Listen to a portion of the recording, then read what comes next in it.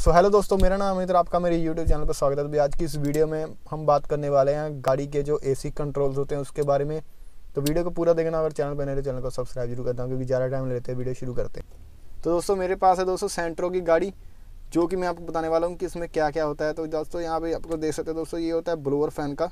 यहाँ पे देख सकते हैं दोस्तों यहाँ पे ब्लोअर फ़ैन का एसी बना हुआ है। यहाँ पे एसी का ये बटन है। जब इसको दबाएँगे तो आपका एसी चालू हो जाएगा और ब्लोअर फ़ैन ऊपर चलता है इसके। दबाने के बाद इसको चला दोगे तो आप, इसका एसी चल जाएगा। और दोस्तों, इसमें बात करते हैं, और इस, इसके बारे में बात करते हैं, स्टार्ट से पहले बात करते हैं।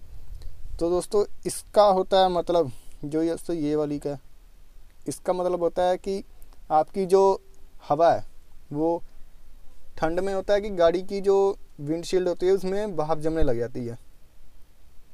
भाप जमने लग जाती है, इस कारण वो गाड़ी का जो, ये इसका कारण होता है कि आप सीधी जो हवा होगी, वो वहाँ से निकल के एसी के आपके जो फ्रंट एसी से होगा, वहाँ से निकल के आपकी जो विंडशील्ड होगी, वो पूरी अच्छी तरह क्लीन कर देगी।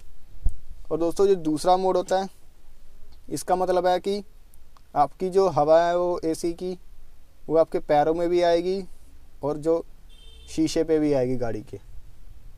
ठीक है दोस्तों, जो तीसरा मोड है, वो सिर्फ़ आपके दोस्तों जो हवा आएगी, वो पैरों पे आएगी।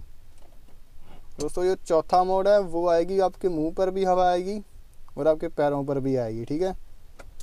और दोस्तों, ये लास्ट मोड है, जो सीधा आपके जो मुँह पे हवा आएगी।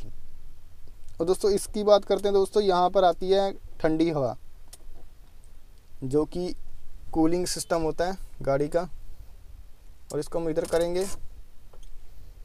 तो यहाँ पर दोस्तों हो जाती है गर्म हवा। देखिए यहाँ दोस्तों रेड इसलिए बना हुआ क्योंकि अब हीटर होता है गाड़ी के अंदर भी। गाड़ी के अंदर भी हीटर चलाया जाता है। और दोस्तों, इसका मतलब होता है कि आपकी गाड़ी की जो हवा है, वो कहाँ से आएगी? बाहर की हवा लेना चाहते हो या अंदर की हवा लेना चाहते हो? ठीक है दोस्तों? ये दोस्तों, आपकी जो हवा आएगी, वो बाहर से आएगी। आप खुद देख सकते हो दोस्तों, यहाँ पर मैं निर्दी करके दिखाता हूँ। यहाँ पर दोस्तों, ये गाड़ी की जो हवा आएगी, वो बाहर से आएगी। गाड़ी के आगे लगे होते वो खुल जाते जब इसको ऊपर करते हैं। जब इसको नीचे करोगे तो वो बंद हो जाएँगे। तो गाड़ी की हवा होगी, वो अंदर ही अंदर घूमती रहेगी। और गाड़ी अच्छे से कूल होगी। ठीक है दोस्तों, अगर आपको वीडियो अच्छी लगी तो वीडियो को लाइक ज़रूर करना और चैनल को सब्सक्राइब ज़रूर करना।